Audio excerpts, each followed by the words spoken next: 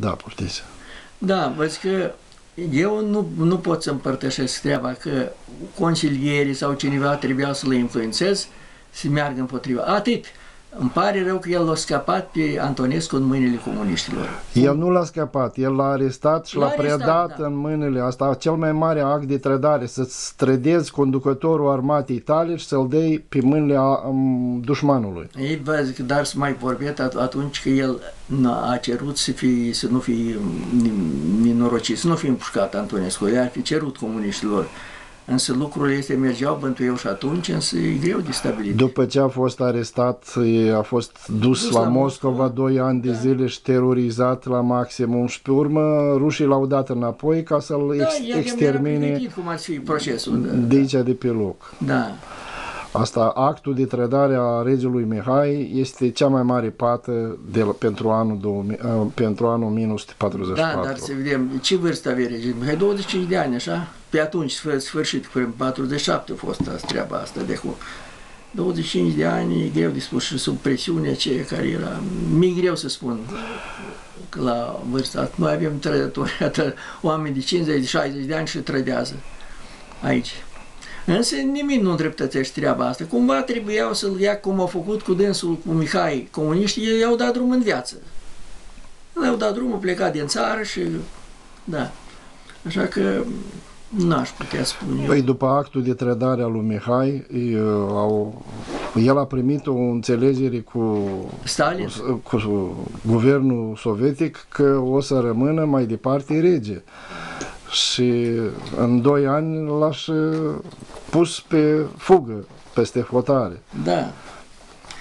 Eu, mi-e greu să spun dacă a fost promisiune pentru dânsul că el va rămâne rege sau nu, dar în orice caz, iată o carte a mea, ultima carte, dar o carte de este am la dumneavoastră în bibliotecă și eu sunt autora nouă volum de carte de matematică. Da.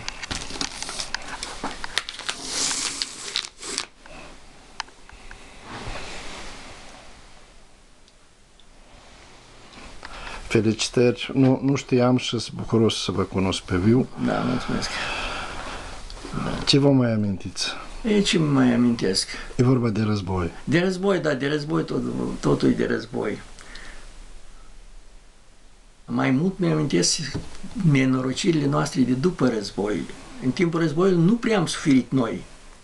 Nu prea, că repede au plecat ruși, s-au retras repede și când au venit românii s-au retras. Păi nu s-a, nu s-a suferit fiindcă noi eram aliața a Germanii Da. și nemții n-au făcut mizeria N-au care au făcut făcut-o mizerie, da, în n-au Ucraina, făcut în nimic Belorusia, în Rusia. Da, dar, uh, dar problemele au urmat după asta. Nu aș vrea să m- mă Da, adâncesc. poftiți, poftiți.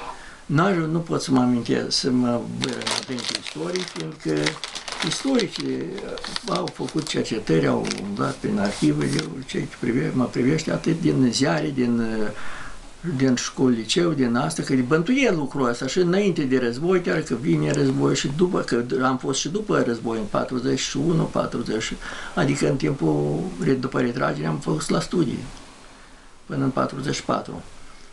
La Iași? Da, la Iași, la Liceul Național. Și nu am terminat liceul, dar am venit și cu, avem un certificat cu niște studii de acolo, am susținut examen de maturitate fără să fac studii la o- școala medie din Edins. Apoi am făcut studii la o universitate din uh, Chișinău, la Ion Creangă, am terminat studiile astea, am obținut diplomă cu eminență, și așa am nimerit, am fost trimis la serviciu la Tiraspol, la Universitatea din Tiraspol. Era nevoie atunci, cadrii nu ajungeau peste tot. Acolo chiar eh, am un articol publicat, nu l-am luat, dar în orice caz vă voi trimite în, în timp e publicat un articol din, parcă din 4 martie despre activitatea mea la Universitatea din Tiraspol. Acolo și acolo am făcut lucru, am lucrat, am muncit, am făcut studii, Ba mai mult chiar așa era criză de cadre, că eu făceam în, din 60 până în 63, am făcut doctoratul la Odessa. Apoi eu în toată vinerea vineam de la Odessa la Tiraspol ca a doua zi sâmbătă să fac lecții, sunt prelegeri la studenți. Toți trei ani.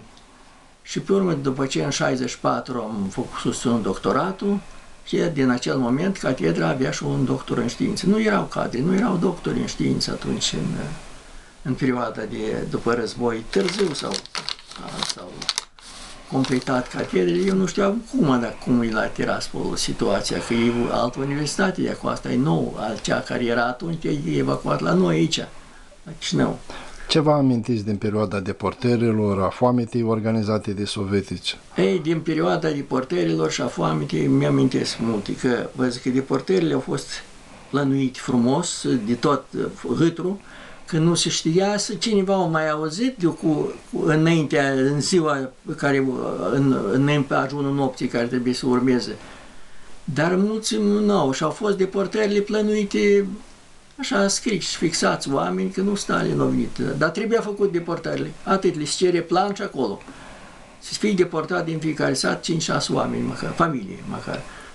Și foamea a fost a doua lovitură mare de acum, care o nimicit multă lume, că s-a curățit în vara aceea, nu numai secetă, dar ultimul grăunte de pâine în bla era echipa asta, a primăria Sel Sovietului, cum se numea atunci, Sovietului Sătesc, și îmbla și controla la oameni și lua ultimul, ultimul kilogram de făină, de grâu. De grâu. Secetă, asta nu putem spune pe secetă baza de aceea că Era moldovenii întotdeauna au avut, avut rezervă și o fasulă da. și un grâu și o asta. Vorba da. între aceia că au curățit absolut tot asta. Tot, a fost o foamete organizată. Și când au început să ajute, de-am era târziu. De-am murit multă lume de foame și ajutoarele și alea tot nu ajungeau.